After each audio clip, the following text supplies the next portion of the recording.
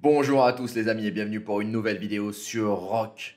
Aujourd'hui les amis, enfin, enfin le pré-KVK commence pour tous ceux qui arrivent en KVK saison 6. Les 286 royaumes qui sont inscrits ont enfin ce petit icône de pré-KVK fini. L'event des timers, de timers, de timers, de timers. Enfin, maintenant, on va pouvoir un petit peu se friter et on commence avec bien évidemment pendant trois jours de maraudeurs, du bashing fort de maraudeurs qui seront suivis de trois jours d'entraînement de troupes, création de troupes et pour finir trois jours de fort de maraudeurs et ça commence très très fort. Alors déjà au niveau des teams on est bien sur le serveur qui sera le serveur numéro 1 puisqu'on se retrouve comme prévu, comme sur le fichier que vous ai montré, qui avait été fait par le 1359 grâce à ce petit bug de voir sur quel royaume on pouvait aller et sur celui où on ne pouvait pas aller pour les KVK. Nous, on pouvait rentrer sur le 503, mais on ne pouvait pas rentrer sur les autres. Donc le 503 sera le plus gros KVK. Ça sera notre fil rouge et je serai dedans. Donc c'est vraiment de la balle. On est avec le 1254, on est déjà 16 royaumes. Et vous allez le voir, on va aller voir l'ouverture des portes du KVK 75 aussi en Terre du Roi, que je vous ai fait un record sur le rush et on ira voir aujourd'hui, enfin pas 24 heures après, si presque 24 heures après, à quel stade on est sur les Terres du Roi. Mais en attendant, déjà on voit que là, on va avoir des problèmes en étant 16 puisque ça devrait laguer de ouf. Regardez, on est bien avec le 1254, énorme 1254, serveur Imperium 1331. Serveur Imperium aussi, nous-mêmes, nous sommes actuellement troisième. Alors ça vient d'ouvrir, ça a ouvert il y a à peine 6 h et 39 minutes. Et vous le voyez, hein, ça commence très fort. Et regardez, le quatrième et le 12-39, donc les quatre premiers sont les quatre serveurs Imperium. Et regardez cet écart déjà en 6h30 qui s'est creusé. On a 13 millions, le cinquième à 3 fois moins de points pratiquement que le quatrième. Et puis après, ça descend, ça descend. On arrive sur des royaumes qui sont totalement morts. 420 000 pour le 10-55. Donc si vous cherchez un royaume mort, je pense que le 1055 ou le 1074 sont des bons clients. Si vous êtes sur ces royaumes-là, je sais qu'il y a certains abonnés sur le 1055 qui m'ont contacté déjà pour m'indiquer que c'était des serveurs morts. N'hésitez pas à me confirmer en commentaire comment ça se passe sur votre royaume. Mais on va voir dans les zones de départ avec qui on va être. Mais ça va être compliqué pour ces royaumes qui vont se retrouver sur une zone de départ avec un serveur Imperium qui forcément ne va pas vouloir leur laisser grand chose puisqu'ils ne vont pas potentiellement être d'une grande efficacité en temps de guerre, sauf si évidemment il y a une alliance au moins motivée. Mais là pour le moment, les scores sont quand même très bas pour tous ces serveurs-là qui vont donc se retrouver avec les 4 Imperium dont je fais partie. Ça va être tout bonnement énorme. Il y a une grosse histoire d'embrouille déjà entre le 54 et le 31, si je dis pas de bêtises. Ça pas mal, le 54 a pas mal trash talké par le passé sur le 31 et le 54 a déjà été en alliance par le passé sur des KVK précédents avec le 39. Donc il y aura peut-être des équipes qui vont se former. On en discutera, hein, des alliances de territoire déjà qui pourraient se faire. On en discutera quand le KVK aura réellement commencer. Au niveau du classement individuel, vous l'avez vu. Alors là, il ne s'affiche pas. Tiens, c'est étonnant. Il s'affiche mal. C'est dommage. Des petits bugs. Bref, ah bah là aussi, ça s'affiche mal. Il n'affiche plus la suite. Bon, et ça commence bien déjà, ça commence déjà à bugger sur l'affichage, c'est pas terrible du tout. Au niveau des récompenses, vous les connaissez, hein, c'est toutes les mêmes, on a bien vu, on a bien vu la dernière fois sur le 500 L502 qu'à partir du 9 au 100, c'était un gain d'expérience de commandant, plus 1%, ça ne sert à rien euh, comme le buff, euh, les buffs de vitesse euh, de gain de 7, pardon, le gain d'XP de commandant plus 3 dès le rang 7, on s'en moque. Donc évidemment, c'est les rangs d'avant qu'il faut viser. Le 1, 2, 3, le 4 sert un petit peu moins. Le 5 peut être utile notamment dans les recherches pour les, les, cristaux, puisqu'on va avoir une académie de cristaux, si ce buff marche, les 3%, ça peut être utile aussi. Bref, on verra bien et on bâche massivement du maraudeur donc pendant 3 jours.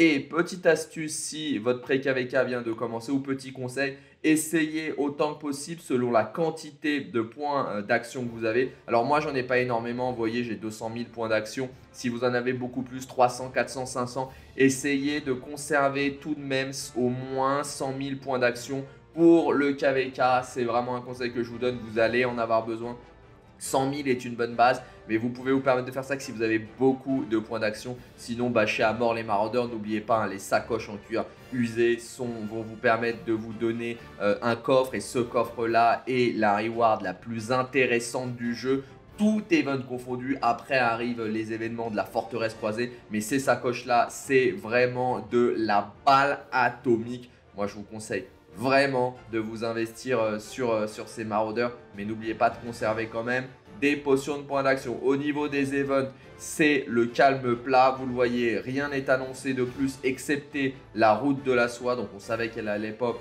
Elle a pop, elle sera là dès lundi. Bon, on va pas s'en occuper tout de suite, ce sera pas notre priorité. Et j'ai vérifié pour le moment sur le MGE, c'est toujours Zenobia qui a annoncé. Ils ne l'ont pas switch avec un nouveau commandant, mais ils peuvent le faire à la dernière minute. Ils l'ont déjà fait, ça ne serait pas la première fois. Pas droit des cartes comme on a vu pop euh, sur certains serveurs. Pas rien d'autre, hein. aucun event euh, intéressant. Pas de roue de la chance euh, des matériaux comme on l'a vu ou d'Esmeralda des matériaux qu'on aurait pu ravoir. Mais, mais non, pour le moment, rien de tout ça. Pourtant, on a vu ces events passer sur le serveur notamment 1001 euh, et 1002 où j'ai un compte secondaire. Je les ai vus, mais pour le moment, rien chez nous. Et la grande finale d'Osiris qui va pouvoir débuter dans 3 jours 17h, ou les paris vont pouvoir débuter dans 3 jours 17h. Il me semble que le premier match sera le week-end de la semaine prochaine, pas avant.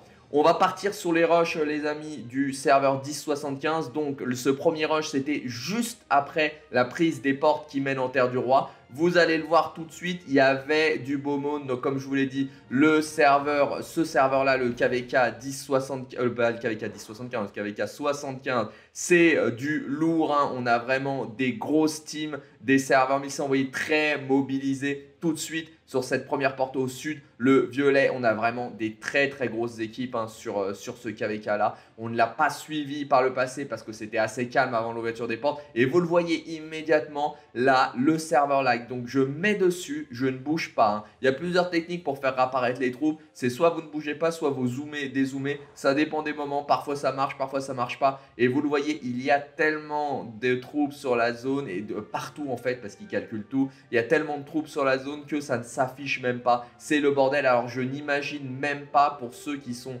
euh, en train de combattre comment ça doit être l'enfer. D'après ceux que je connais qui sont sur ces serveurs-là, ils me disaient qu'ils avaient plusieurs secondes de freeze et ils avaient aussi pas mal de crash. Donc là, vous le voyez, le temps que ça a mis à s'afficher, c'est n'importe quoi. Là, il n'y a même pas toutes les troupes euh, encore. Et vous allez le voir, on va aller sur les zones de combat puisque quand les terres du roi, l'avantage, c'est qu'on a immédiatement des grosses zones de combat. Et vous allez voir, c'était assez lamentable. Regardez là, une très grosse mobilisation aussi sur ce côté-là. On a une première zone de combat. Ça va encore, vous voyez, ça, ça lag un petit peu, mais ça va encore. Je vous le rappelle, c'est pas mon device hein, qui rame. Là, c'est vraiment parce qu'il rame que très rarement. En général, il crache plutôt euh, qu'il rame quand ça doit pas le faire. C'est vraiment le serveur qui est en Et vous dites bien là, on n'est qu'à 8 serveurs en même temps. Imaginez là, nous, quand on va être 16 serveurs en même temps, ça va être un vrai bordel. Donc sur cette troisième porte qu'on regarde là, ils sont déjà passés, mais vous le voyez, ça met toujours du temps à s'afficher. Vous voyez, je zoome, je dézoome,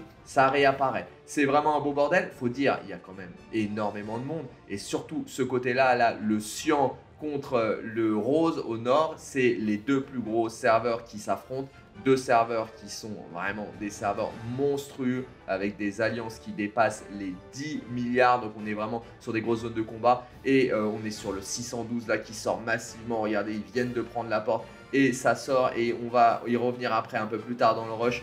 Je vais vous montrer les zones de combat, vous allez le voir. C'est vraiment un truc de ouf. Autant on a vu le KVK 105 où on avait des grosses zones de combat. Là, c'est encore plus gros. Évidemment, c'est normal les ennemis sont plus concentrés sur une même zone, donc c'est normal qu'on ait des zones de combat qui sont plus denses à ce niveau-là. C'est toujours le cas sur la TNS. Regardez, sur ce côté-là, le rouge, ça ne s'affiche même pas. Je zoome, si je suis pas en arrêt sur image, je zoome, il n'y a rien. Donc, et pourtant, croyez-moi, la zone est blindée de troupes. Donc on pourrait croire, vous voyez, ça apparaît d'un coup, comme ça. On est sur le 601 là, regardez, c'est monstrueux quand ça sort. C'est monstrueux cette vague là. Et je, ça me fait vraiment peur pour mon KVK le 103 parce que on va avoir ce type de mobilisation aussi grosse, voire plus grosse encore, puisqu'on aura encore une fois 16 royaumes, même si comme on l'a vu dans mon classement, il y a 8 petits royaumes, voire tout petits royaumes si ce n'est mort, même pas 8, 12 petits. Je suis bloqué sur le 8. Hein. Pour moi, 8 plus 4, ça fait 16. J'ai des notions de mathématiques un petit peu fatiguées. Donc là, on le voit bien. Regardez, ça sort aussi massivement. Ça s'affiche un peu plus euh, facilement sur ce côté-là. À croire que le serveur euh, a des, moments de, lucidité et il rame moins et il nous rend un petit peu de perf.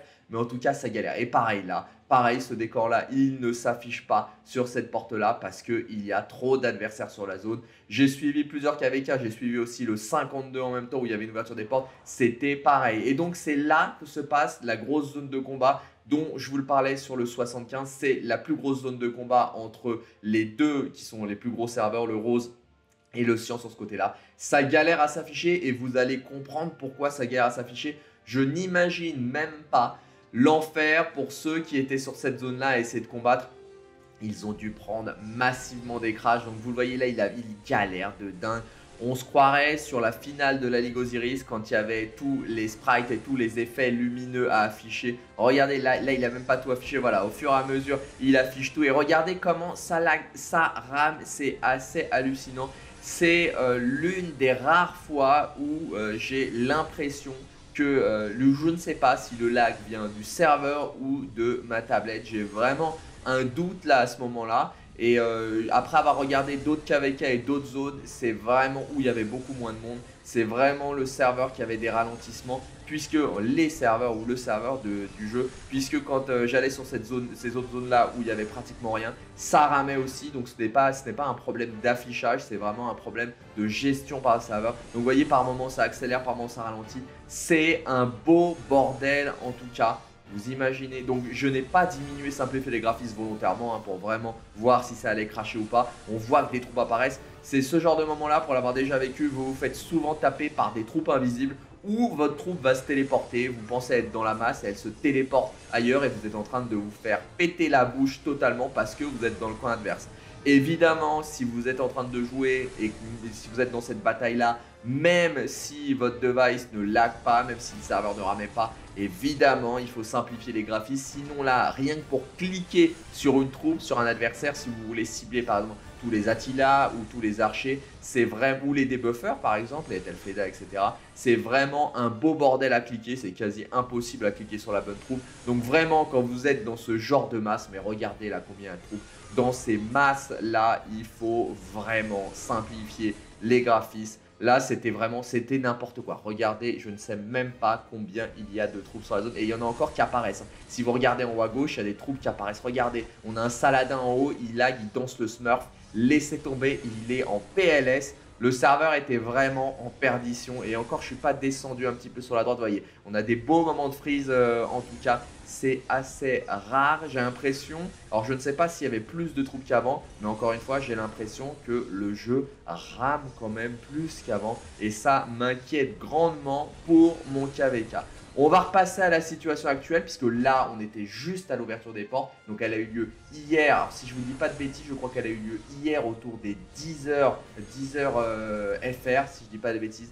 9h UTC, donc on est un tout petit peu moins de 24 heures après l'ouverture. Et on va voir qui a pris la domination sur ces portes-là. Donc on se retrouve tout de suite in-game et on va y aller tout de suite, tac, sur le KVK 75. Ça a pas mal bougé, donc pour ceux qui ne l'ont pas remarqué, euh, qui n'ont pas suivi, on est repassé bien évidemment Imperium, hein, comme je vous l'avais dit. On repasse sur le KVK, le Royaume perdu numéro 75.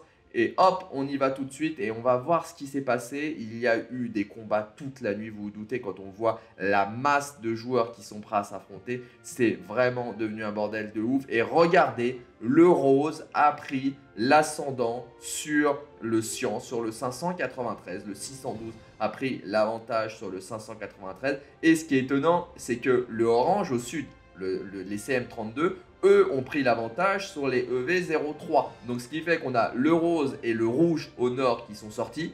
Mais au sud, c'est le jaune et le cyan avec aidé du orange qui sont sortis. Donc on a un terrain qui est vraiment très très disputé. Rien n'est fixé à ce stade-là. Même si quand on est sur cette zone-là où le, le plus fort du côté du rose a enfermé le plus fort de la team du cyan, à savoir le rose et le cyan, hein, Évidemment, ça va continuer à se battre. C'est loin d'être fini. Surtout qu'ils ont réussi à sortir là le Cyan. Donc, il va avoir des très très grosses batailles. Hein. Le 612 a bien l'intention, eux, de pas se laisser faire, de rien lâcher. Mais est-ce que ça va suffire pour reprendre la zone? On va le voir, ça va vraiment être tendu. Hein. Le vert ne lâche pas l'affaire non plus, vous le voyez. Hein. Les mecs, ils sont encore là. Il y a, vraiment de la très très grosse euh, bataille. Là, les drapeaux commencent à brûler du côté du bleu. Ils sont peut-être en heure euh, creuse par rapport euh, au vert.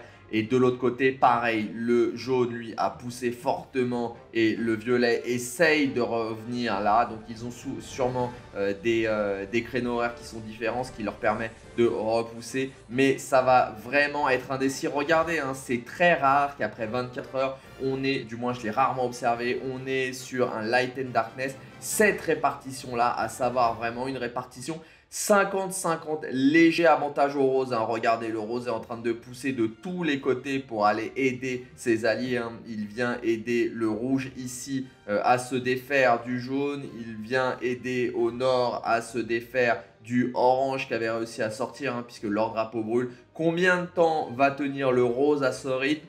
Ça va vraiment être très intéressant à voir. C'est le seul moment vraiment qui est très intéressant sur le Light and Darkness Là, c'est quand les terres du roi s'ouvrent. On va en suivre d'autres. On ne fera pas que le 75, mais le 75, avec ce lag et cette masse de troupes, je l'ai trouvé vraiment très intéressant à suivre hier et il reste encore à suivre. Donc, si je devais faire un pronostic à ce stade-là, on va voir si je me trompe. Pour moi, l'alliance du 612, le rose donc, qui est avec le vert, le violet et le rouge, va gagner puisqu'il démontre quand même une plus grosse puissance que le cyan et donc il va très probablement rouler sur le orange hein, puisqu'on le voit déjà, hein, tous les drapeaux du orange sur cette zone-là sont soit en train de brûler, soit ont été éteints mais sont quand même bien amochés. Il va en faire de même avec le jaune. Donc à mon avis, le rose, aidé de ses alliés, va réussir à reprendre toute la zone. Et une fois qu'ils l'auront reprise, ça sera fini malheureusement pour la team du Cyan, la team